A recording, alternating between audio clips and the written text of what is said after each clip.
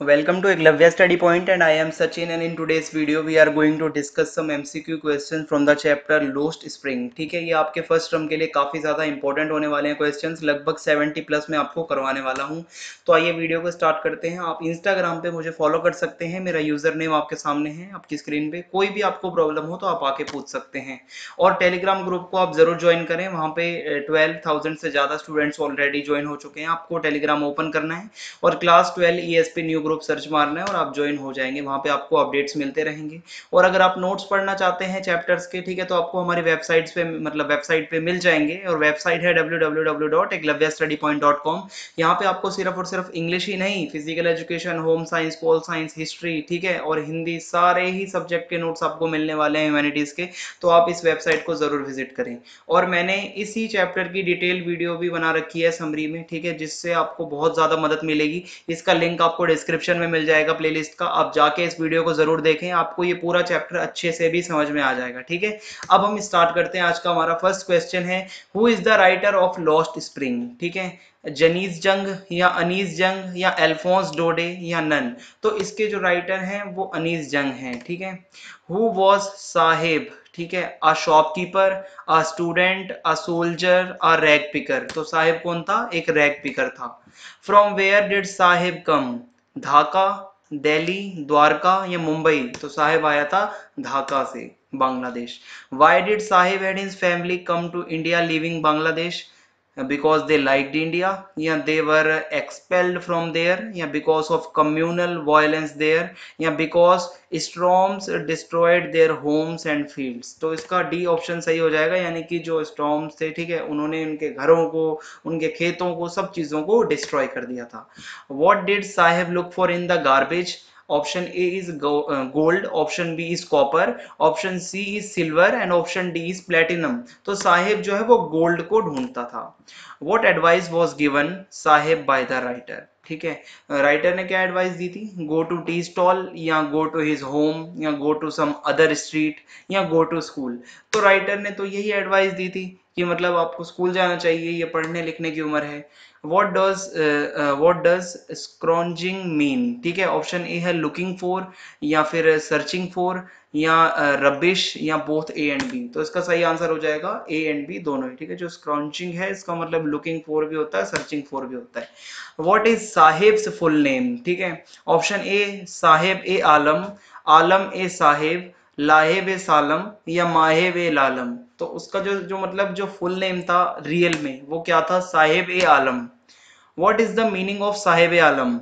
Option A great rag pickers या फिर chief of pick pockets या फिर लॉर्ड ऑफ़ यूनिवर्स या फिर नन तो साहेब आलम का मतलब होता है लॉर्ड ऑफ़ यूनिवर्स यानी कि पूरे यूनिवर्स का जो लॉर्ड हो। लेकिन ये बिल्कुल आयरनी था, ठीक है? Saheb's full name is dash option A, humorous, या आयरनिकल, या सेटेरिकल, या रिडिकुलस। तो इसका फुल नेम कैसा था? आयरनिकल था, क्योंकि इसके नाम का मीनिंग है लॉर्ड ऑफ़ यूनिवर्स, पर ये क्या करता है? रैक पिकिंग करता है। तो कहीं ना कहीं ये आयरनी है। Saheb's full name means lord of the universe but he leads a life of dash wealth and power, या एपुलेंस, या प्रोस्पेरिटी, या पोवर्टी एंड मिजरी। तो इसका आंसर डी हो जाएगा। काफ़ी ज़्यादा दयनीय, काफ़ी ज़्यादा गरीबी में उसकी लाइफ जो है वो बीत रही थी, लेकिन उसके नाम का मतलब तो लॉर्ड ऑफ़ यूनिवर्स था। Who appeared like morning birds. Option a, writer and her friends, या साहिब्स पेरेंट्स या साहिब एंड हिज फ्रेंड्स या ग्रुप ऑफ़ लेडीज़ तो इसका सही आंसर ऑप्शन सी हो जाएगा। मॉर्निंग में साहिब और उसके फ्रेंड नंगे पाँव दिखते थे राइटर को। Who are called army of bare foot boys ठीक है? साहिब एंड हिज फ्रेंड्स या फिर writer and her friends Sahib's parents या ग्रुप ऑफ़ लेडीज़ तो इसका सही आंसर साहिब और उसके फ्रेंड्स जो थे, उनको आर्मी ऑफ़ बेयर फुट कहा गया है। वेयर डज साहेब लीव ठीक है, सीमापुरी, मणिपुर, ढाका या पटना? साहेब जो है वो सीमापुरी में रहता है। और where is Seemapuri situated in the centre of Delhi on the periphery of Delhi outside Delhi या इन ढाका? तो सीमापुरी है on the outskirts of Delhi या on the periphery of Delhi ठीक है, बिल्कुल दिल्ली के किनारे पे। अब यहाँ पे आगे है who lived in Seemapuri? Seemapuri में कौन रहता था? फार्मर्स ट्रेडर्स पॉलिटिशियन या रैग पिकर्स तो बहुत आस, मतलब इसका आसान सा आंसर है कि रैग पिकर्स रहते थे।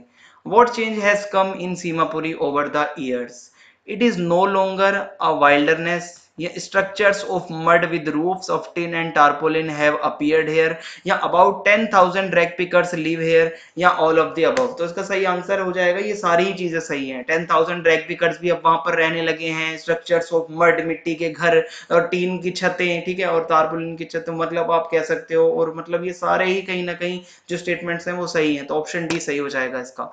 The houses in Seemapuri are made of dash किससे बने हुए थे? ब्रिक्स एंड कंक्रीट, या एस्बेस्टोस शीट्स, या फिर मड, टीन एंड तारपोलिन, या प्लाईवुड? तो उसके घर जो बने हुए थे सीमापुरी के, मड, टीन एंड तारपोलिन के बने हुए थे। For the people of Sahib's colony what is more important than identity option A gold coats silver food तो सही आंसर फ़ूड हो जाएगा because for them food is more important than identity ठीक है?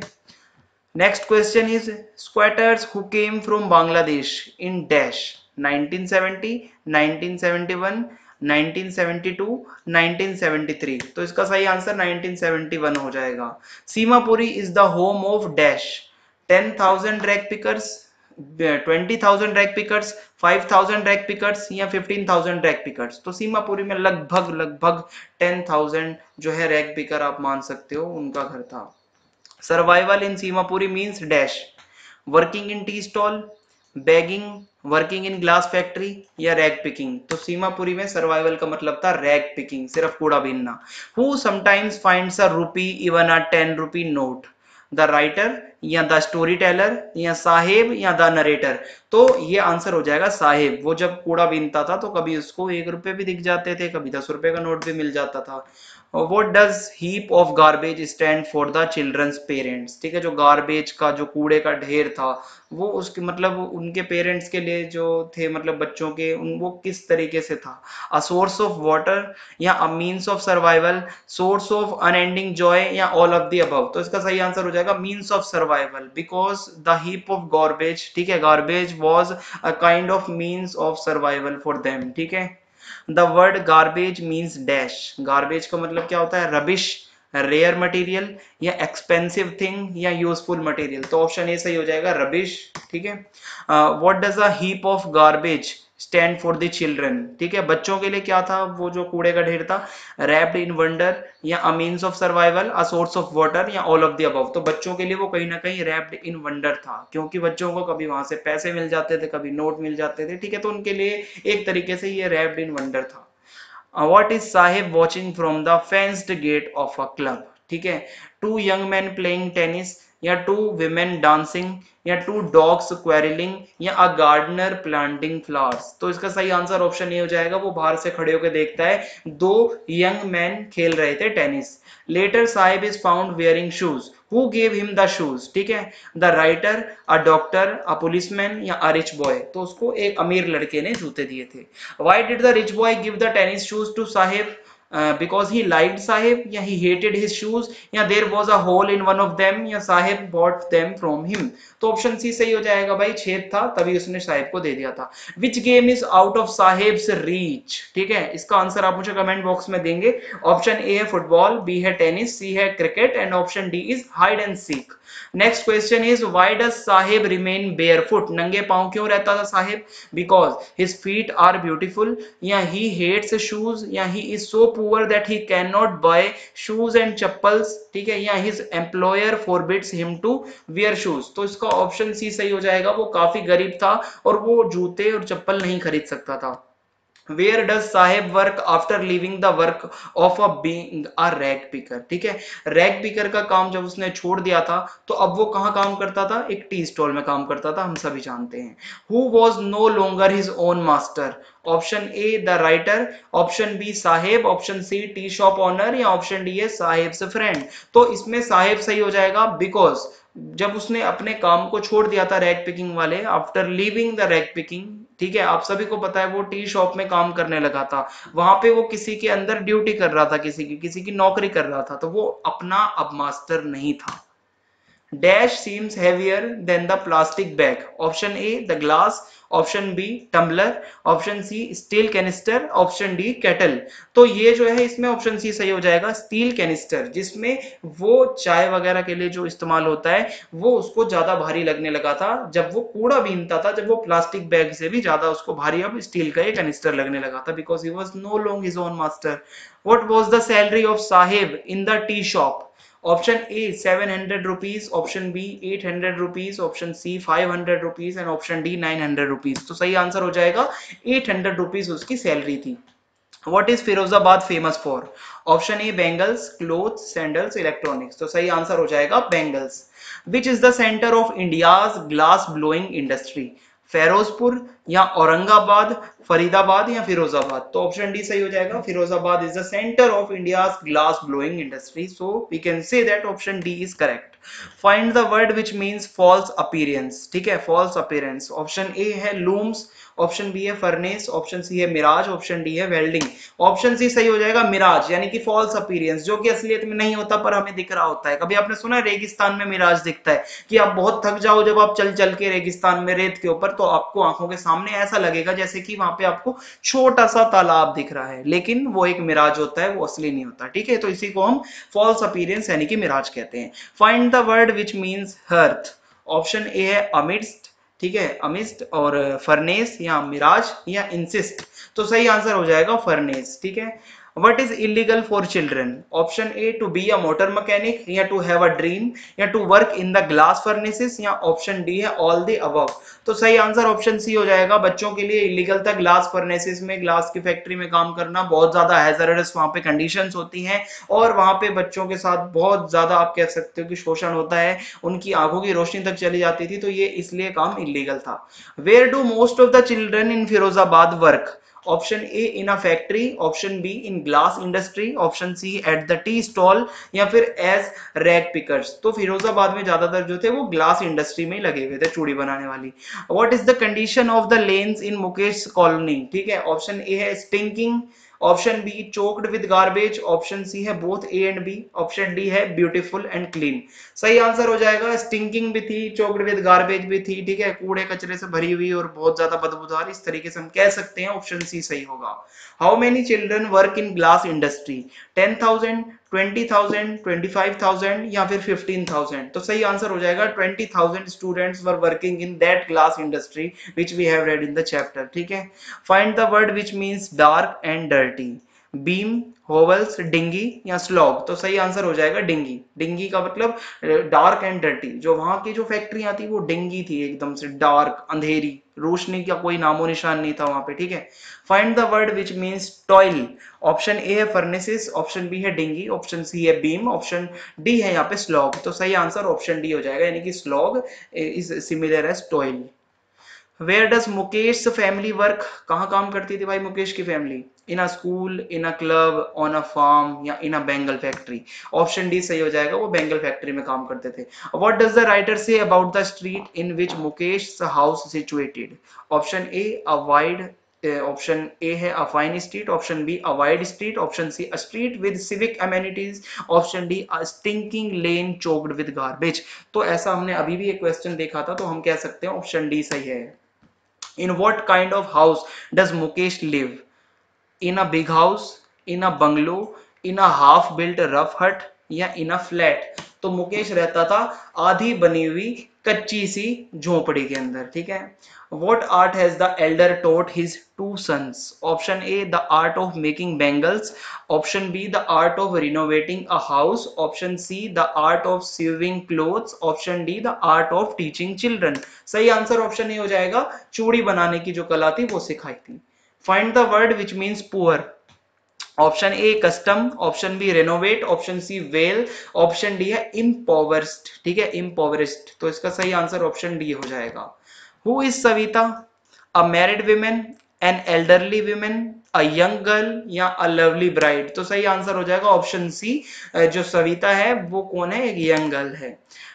What sensitive what sanctity attach to bangles ठीक है? What sanctity attach to bangles they are made of pure glass या they symbolise an Indian women's suhag या they are worn by all girls and all women या they are worn on all auspicious occasion तो सही answer हो जाएगा option B bangles को कहीं ना कहीं इंडियन वुमेन का सुहाग भी माना जाता है।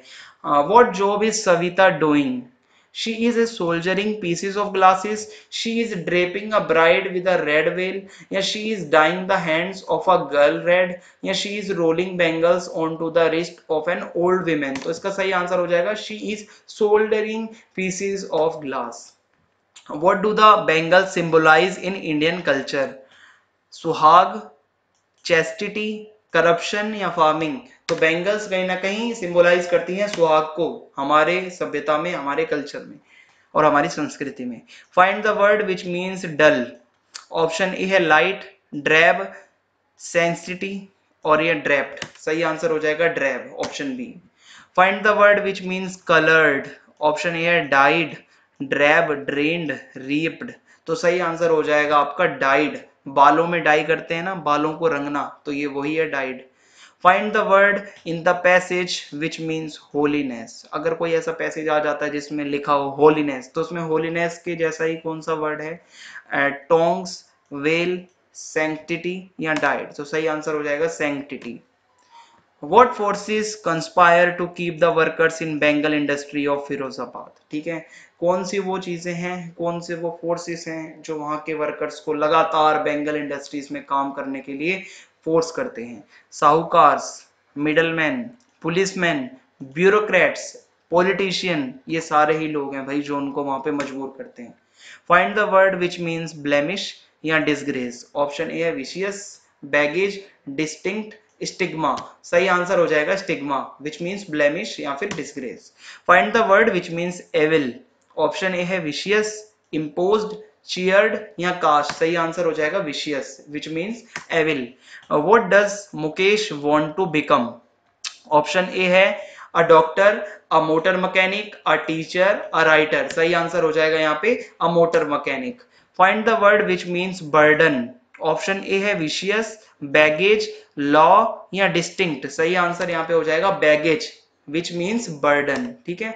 नेक्स्ट क्वेश्चन है what does the writer try to depict in the lesson lost spring lost adolescence या लोस्ट चाइल्डहुड लोस्ट फ्रीडम या लोस्ट स्प्रिंग सीज़न सही आंसर हो जाएगा लोस्ट चाइल्डहुड ठीक है? कहीं ना कहीं खोया हुआ बचपन इसमें बताया गया है।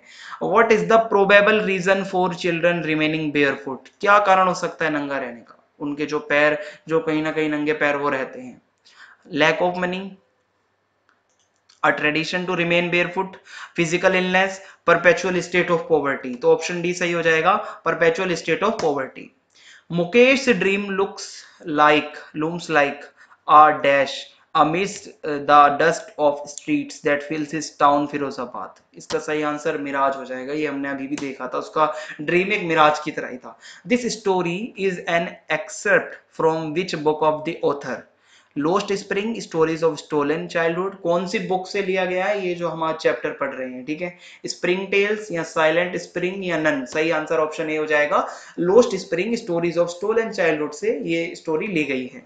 Mukesh wants to learn to become a motor mechanic by finding a tutor या going to a garage to learn या बाय रीडिंग बुक्स या नन सही आंसर हो जाएगा, वो एक गैरेज में जाना चाहता है और वहाँ जाके वो सीखना चाहता है। What bothers the author most about the bangle makers option A the stigma of poverty and caste option B the affluence of the landlords option C the behaviour of the factory owners the option D है यहाँ पे the labour loss तो option A सही हो जाएगा stigma of poverty and caste जो है वो। ऑप्शन इसमें आगे अगर हम देखें क्वेश्चन को तो वो है what is the central theme of the story lost spring option A pitiable poor children and their lost childhood या गार्बेज या साहिब एंड मुकेश, या स्प्रिंग सीज़न तो इसकी जो सेंट्रल थीम है, जो मेन आइडिया है, वो है, जो कितनी बुरी कंडीशन है यहाँ पे गरीब बच्चों की और उनका जो बचपन है, वो खो चुका है। Firozabad is the centre of which industry option A cotton industry option B furniture industry option C textile industry option D है ग्लास ब्लोइंग इंडस्ट्री सही आंसर हो जाएगा ग्लास ब्लोइंग इंडस्ट्री का वो सेंटर है। इसी के साथ ये चैप्टर यहाँ पे हमारा फिनिश होता है। कोई भी अगर आपको चीज़ ना समझ आई हो तो आप मुझसे पूछ सकते हैं आगे इंस्टाग्राम पे। और कमेंट करके ज़रूर बताएँ आपको वीडियो कैसी लगी। चैनल को सब्सक्राइब करना ना भूलें। बेल आइकन को दबा दें ताकि आने वाले वीडियोस के नोटिफिकेशंस आपको मिलते रहें। वीडियो को ज़्यादा से ज़्यादा शेयर कर दीजिए। जय हिंद जय भारत धन्यवाद थैंक्स फॉर वॉचिंग